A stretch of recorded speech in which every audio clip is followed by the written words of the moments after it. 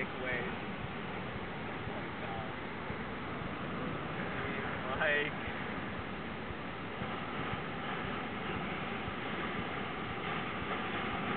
oh, some dude just gets a garage.